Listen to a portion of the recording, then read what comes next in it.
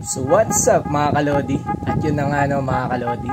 And here we go again mga kalodi. Meron na naman tayong parating na unpacking videos ng mga NBA cards ko na in-order sa eBay. So ito na nga mga kalodi, nasa harapan ko na ngayon. Ang tatlong parcel na galing sa eBay. Ito yung mga sinasabi ko na isa pa sa mga in-order ko. Then ayan, isa-isa na siya nagdatingan. And naipon na dahil nga syempre di ba kita nyo naman, one week tayo na walang upload at update tungkol sa ating mga NBA cards, sa ating mga personal collection. And ngayon nga, ito mga kalodi, nandito na ngayon yung mga dumating. At sa totoo lang mga kalodi, meron pa akong Chronicles box. Ayan. So sa susunod natin na video, gagawin na natin yung first box break natin. So yan, iba box break natin to Chronicles box. And etong mystery box na to. Meron pa tayo isang mystery box. Kung saan secret muna ako anong laman nito. Basta tong dalawang to yung magkasama talaga at hindi pwedeng maghiwalay itong mga to. So abangan nyo to sa susunod natin na vlog. Yung ating box break ng Chronicles 2019-2020. Blaster box ng Chronicles. So yan, abangan niya mga kalodi sa susunod natin na video. But before tayo mag-box break, syempre unahin na natin tong unpacking ng tatlong parcel na to. Dahil ang totoo niya mga kalodi, isa to sa mga maiinit ko na mga cards. Sobrang gustong gusto ko na tong makita. Dahil nung in-order ko to, sa picture ko lang to nakita. Sa mismong website lang ng eBay. So yan, shoutout nga pala sa eBay. O nga pala guys, hindi nga pala to halos order ito ay napanalunan ko sa bidding. So, kung familiar kayo sa mga card bidding sa eBay, so yung mga yan, halos napanalunan ko yung mga yan. Pero bumibili din talaga ako sa eBay. Nag-order ako ng mga cards doon. But, itong mga to is napanalunan ko sa bidding. So, sa mga nagtatanong nga pala kung ano yung card bidding sa eBay, yan, i-content ko din yan and i-explain ko sa inyo isa-isa kung paano ba ako nakakasali sa mga bidding sa eBay. And yun, iisa-isahin ko yan sa inyo, i-explain ko yan sa inyo sa mga parating ko na content. Uunahin lang natin i-unpack yung mga uh, parcel na ganito na dumadating galing sa eBay. Before tayo magsimula ng unpacking, sa mga hindi pa nakakapag-subscribe mga kalodi, eh syempre subscribe nyo na yan. Ito ang ating YouTube channel, yan, ang Jason Peralta Vlogs sa mga card collector na kagaya ko and also sa mga nag invest din sa mga sports card yan i-subscribe nyo na yan mga kalodi. And huwag nyo kakalimutan na pindutin ang ating notification bell para lagi kayo updated sa mga i-upload natin na unpacking at mga NBA cards content so syempre wag na natin patagalin. Without further ado let's begin the unpacking of the NBA cards. Let's go Oo nga pala sa mga nagsusupport nga pala sa akin sa aking mga ina-upload na unpacking video yung aking first episode and second episode maraming maraming salamat sa inyo guys sa mga kapanood na. At sa mga hindi pa nakakapanood mga kalodi ito ah. Ito yung ating mga first episode. Ayan. And the second episode. Ayan. So ayan panoorin nyo mga kalodi para makasubaybay kayo at masundan nyo yung mga na-unpack na natin ng mga NBA cards. At syempre yung ating mga personal collections. So yan, wag na natin patagalin. Ito na. I-unpack na natin. Unahin na natin to nasa gitna. Napanalunan ko to mga kalodi sa box break. So ito yan, mga siguro mga ano to, mga limang piraso yata to or anim. So yan, open na natin. Gilid muna natin. So yan, lagi nating tandaan mga kalodi ha pagka tayo mag-unpack ng mga NBA cards. Syempre ingatan natin yung mga part na to yan. Na huwag nyo kakalimutan to. Lagi nyo ingatan para kung may aberya or mga problema man yung ating ano. So yan. Open na natin. Dahan-dahan lang muna natin. Yan. ito yung mga part na safe pagka mag-ano kayo mag-unpack kayo ng parcel dito kayo magsisimula dito nyo i-start pero make sure na yung ano ah yung mga card na sa dulo yan sa bandang dulo para hindi natin matamaan although bubble wrap to pero syempre nag-iingat tayo para hindi ma-damage yung card lalo kung hindi siya mga naka ano naka frame talaga or nakalagay sa case Pero to alam ko nakalagay sa ano naman to. Dahil nga ano. Yan, open na natin. Ito yung first parcel natin ha. So, yan. Empty na yan. Bilisan din natin para makita rin natin yung dalawa pang nasa parcel. So ito siya.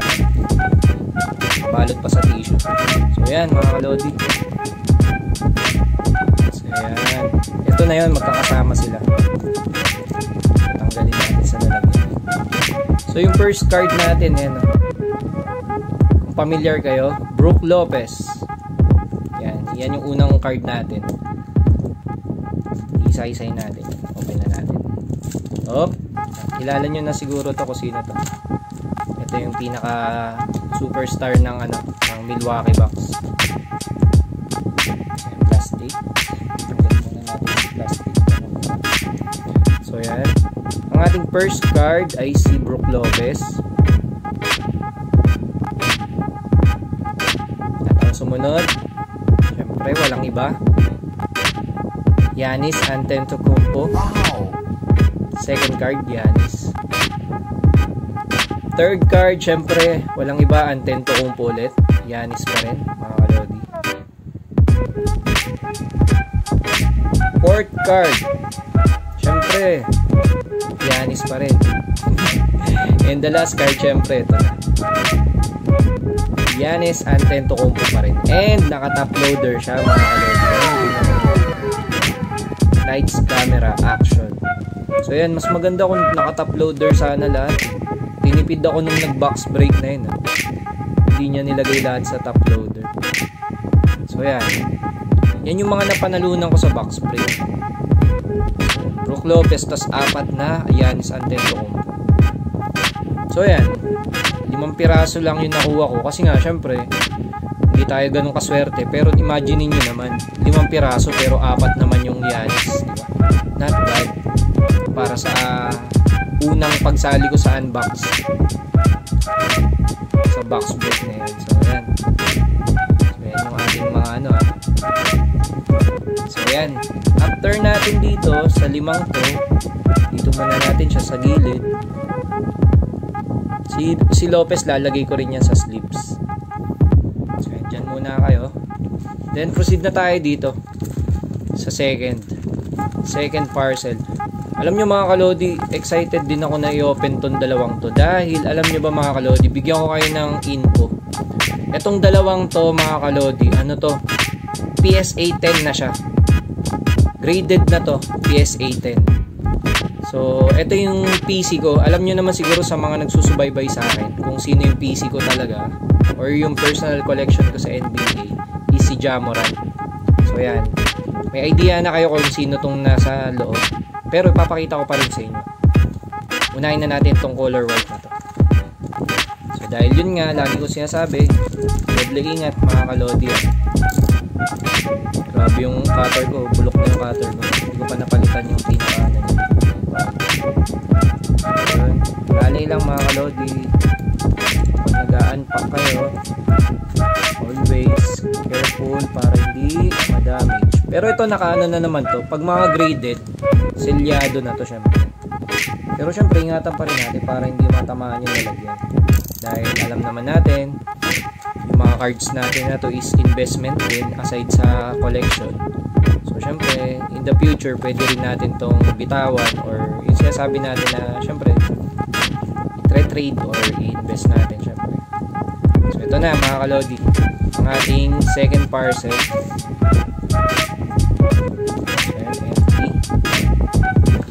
At saka nga pala mga kalodi, ang maganda sa eBay. Pagka sa or- order kayo sa eBay, ano siya, maganda yung pinaka ano yung mga parcel case niya. Naka bubble wrap. Kasi syempre, alam nyo naman, US pa nang gagaling. So, kailangan safe yung card. Makababa yung biyahe. So, ayan, nakabalot pa rin siya sa ganito. So, ayan, may nakalagay, oh. Thank you for supporting my my small business, eBay.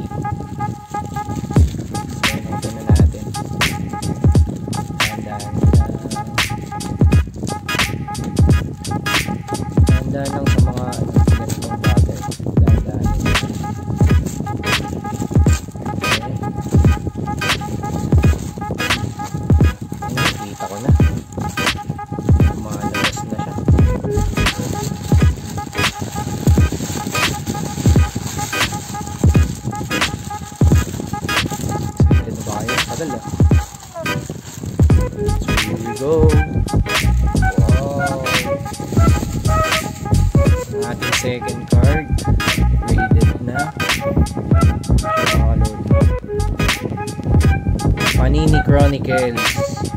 Number 230. Gem Mint. Siyempre walang iba kundi si Jamoran. Color pink na to ah. Pink Essentials. Yan siya mga lodi. Grabe to mga lodi. Oh, graded din na yan. So gem mint na siya.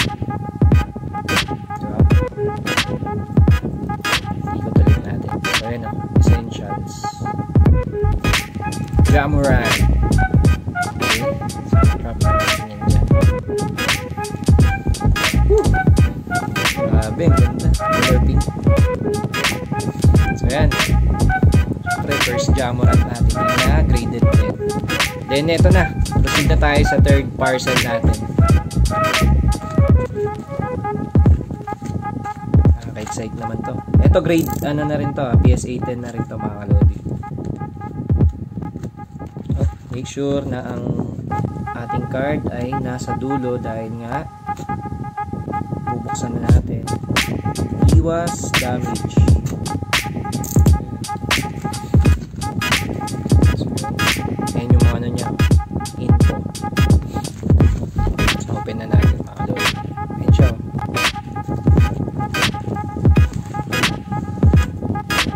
yun. Empty parcel. Bago ko pakita sa inyo, ito yun. Pagka nag-order kayo sa eBay mga kalodi, hindi nawawala itong mga to. Ito yung mga order slip na yan. Yan. Parang resibo mo na to for shipment documents. Thanks for your purchase. I hope you love it. Siya.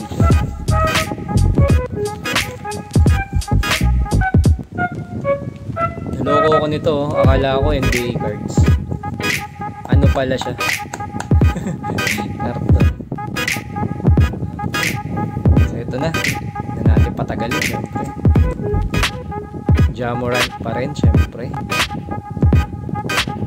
By Memphis Grizzlies. Number 526. So ito na siya mga kalodi. Boom! Rookie card Crusade. Ayan, 2019 Panini Chronicles. 526. Gem Mint.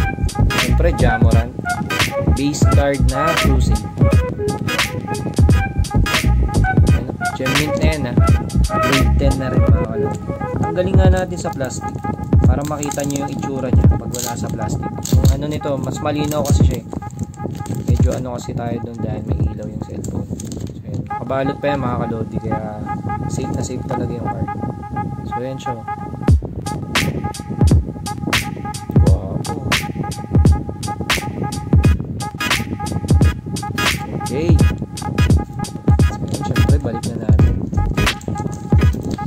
Mga kalodi. Ito yung ating mga laman ng parcel natin. So, dalawang Jamorant na grade 10, PSA 10. And, syempre, yung napanalunan natin sa box break.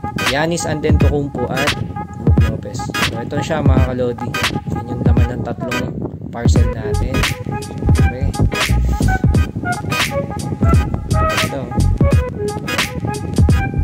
Mga kalodi. Dito na nagtatapos ang aking mga dumating na orders na napanalunan sa bidding and sa box break. Siyempre, walang iba sa eBay lang mga kalodi. And yun na nga, maraming maraming salamat mga kalodi sa mga nanood at sa mga sumusubaybay sa aking YouTube channel, sa mga ginagawa kong unpacking at sa darating natin na unboxing. Yan, sana makapanood din kayo. At yun, kung nagustuhan nyo tong video na to, syempre huwag nyo kalimutan na i-like, mag-comment kayo sa baba kung ano yung mga cards na nagustuhan nyo dito sa mga nakita nyo sa ating unpacking video.